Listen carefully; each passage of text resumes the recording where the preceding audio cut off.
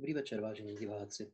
Vítám vás na první části přednášky o dokumentu, eh, který nazýváme Vizelabe 2050.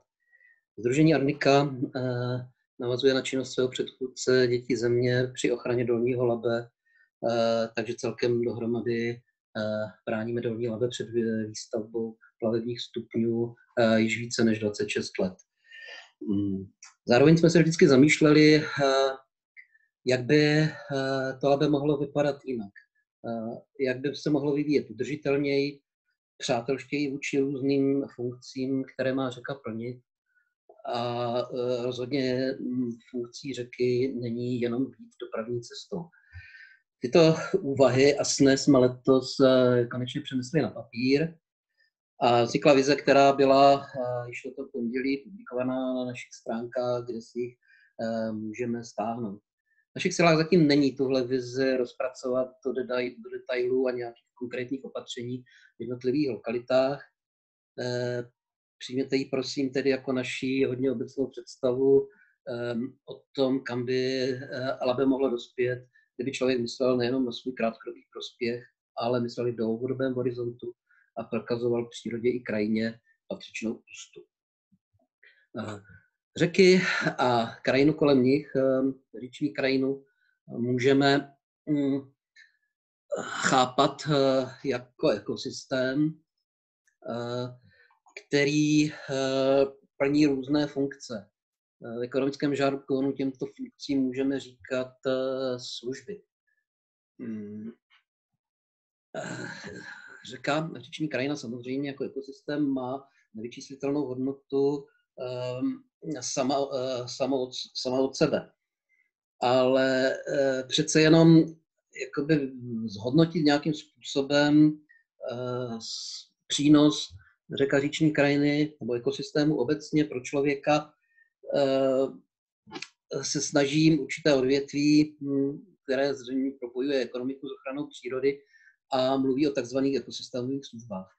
Já už dneska nebudu ten pojem ekosystémové služby používat eh, k nějakému oceňování toho, co má větší nebo menší cenu, ale spíš eh, využité už zavedené klasifikace ekosystémových služeb k tomu, abych upozornil na to, co eh, všechno hm, ta řeka člověku přináší a může přinášet. Ekosystémové služby tedy, vypoučil jsem si tady obrázek z univerzity, Jana Evangelisty Purkyně v Ústí nad Labem. Eh, tyto služby můžeme dělit do čtyřech takových velkých skupin. Eh, první skupinu tvoří tzv. základní nebo podpůrné služby. To jsou vlastně služby, které vytváří to, bez čeho ty ostatní ekosystémové služby vůbec nemůžou fungovat.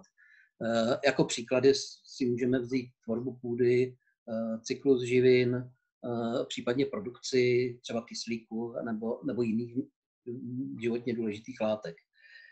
Eh, takové, řekněme, dobře známé a spočítané služby jsou služby produkční, to jsou vlastně, eh, vlastně to jsou produkty, které ten ekosystém vytváří a které člověk může přímo používat, spotřebovávat eh, nebo prodávat.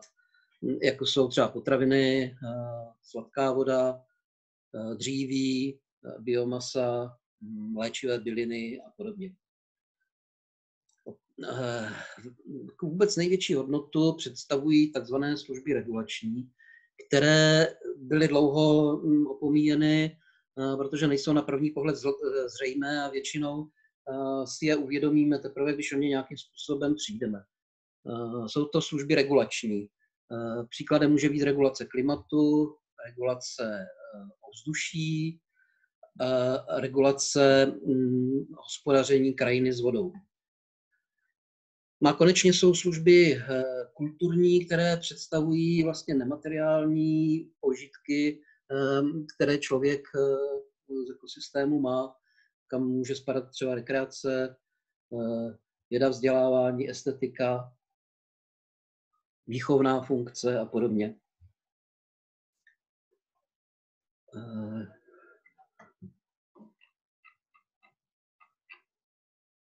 Naší vizi se snažíme zohledňovat eh, všechny tyto různé funkce a ehm, promítat do naší vize všechny eh, přínosy, které Labé krajina kolem něj, kolem něj může mít. první kapitolce naší vize se zabýváme takovým pojmem prostor pro řeku.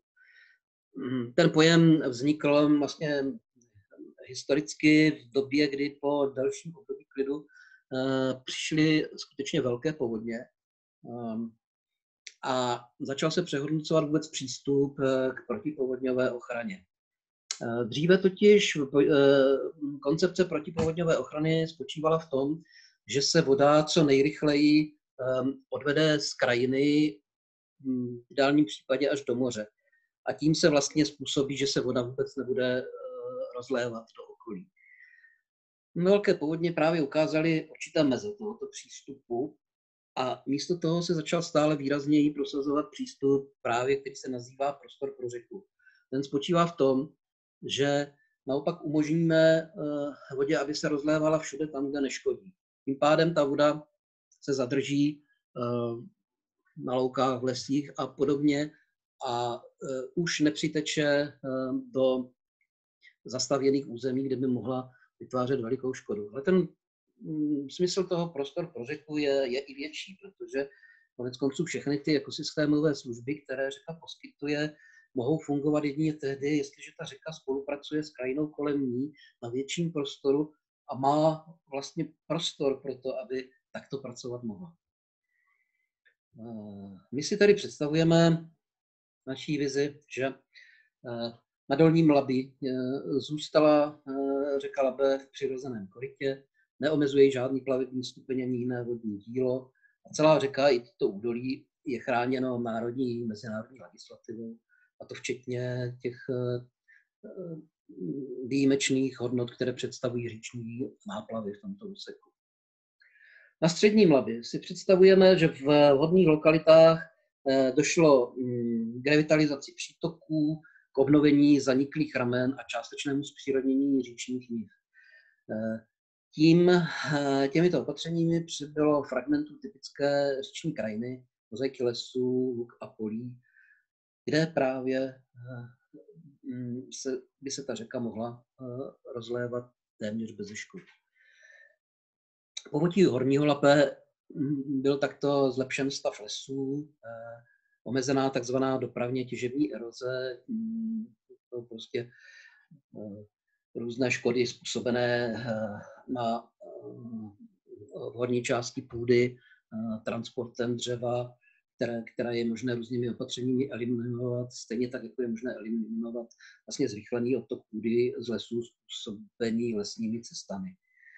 Um, podstatné opatření proběhlo na horním toku obnovou horských mokřadů a rašelinišť, které plní také kromě zvýšení biodiverzity i tu funkci vodozádržnou, to znamená za vyšších eh, stavů během srážek vodu jímají a v době sucha ji zase pomalu odpouštějí.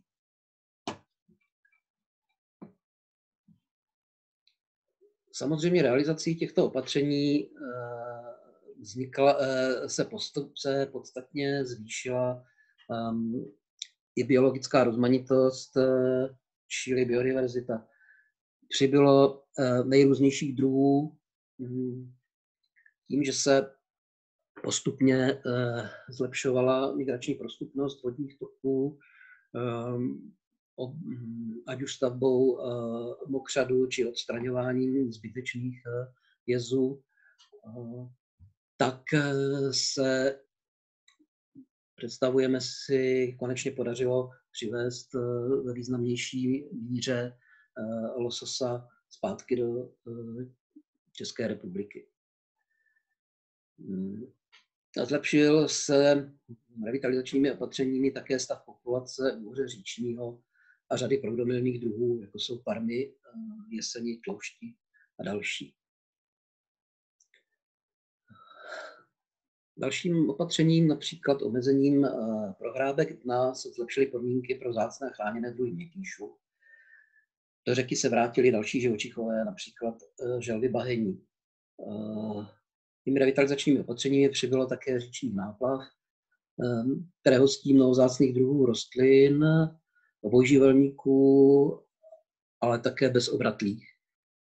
Stejně tak eh, obnovené lušní lesy přivítali zpátky ptáky, motýly a další druhy živočichů. K tomu všemu mi výrazně prospěla transformace zemědělství. V současné době mm, patří k těm zásadním problémům intenzivního zemědělství, vodní a větrná eroze, degradace půdy, splach umělých hnojiv a chemických látek do vodních toků. Eh, k eliminaci těchto škodlivých vlivů v naší vizi slouží řada přírodě blízkých opatření, eh, rozdělení pole na menší části, které jsou zase rozděleny remísky a, a, a větrolami. Zemědělci eh, pěstují rozmanité plodiny, a po sklizni sází mezi plodiny, čímž dosahují jednak toho, že jsou pole zelená uh, po větší část roku a tím uh, vlastně kraj, uh, zemědělská krajina lépe plní funkci regulace klimatu, a, ale také se tím výrazně zlepšuje kvalita půdy. Kvalita půdy uh, se souvisí se schopností půdy zadržovat vodu. Hmm. Představujeme si, že kolem obdělávané půdy rostou pásy dřevin a luk.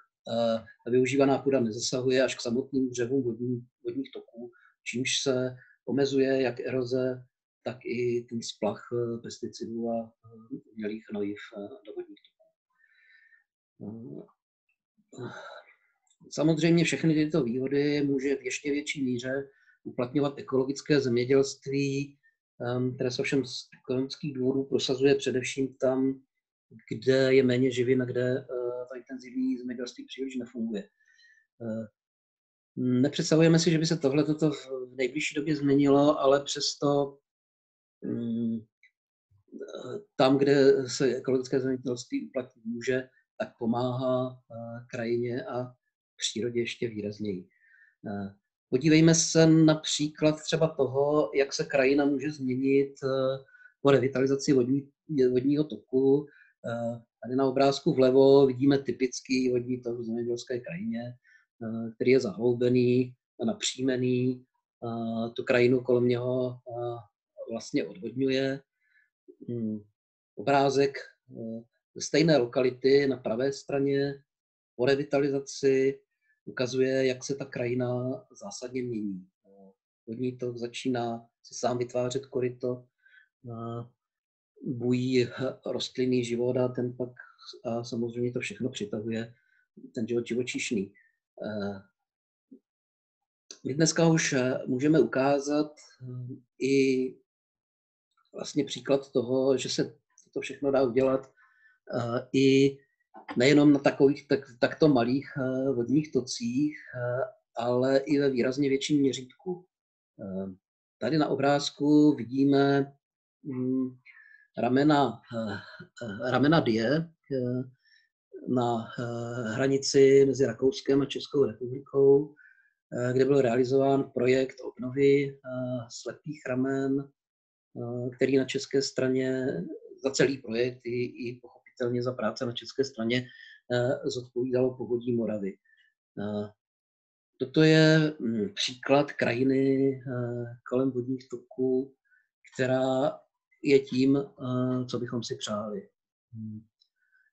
Vidíme, že eh, krajina je krásná, zelená, pestrá a vodní tok má dostatek prostoru, eh, kam se bez škody, bez škody rozlévat. Přáli bychom si, abychom něco podobného viděli v budoucnu i na Laby. Tímto přáním bych tuhle dnešní přednášku ukončil a pozval vás na další, kterou spořádáme v druhé polovině listopadu a kde budeme řešit další aspekty vývoje řeky a toho, co řeka může lidem přinášet. Děkuji vám za pozornost a shledanou.